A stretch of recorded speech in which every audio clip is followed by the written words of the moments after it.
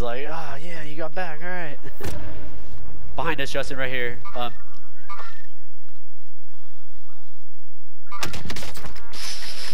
Nice.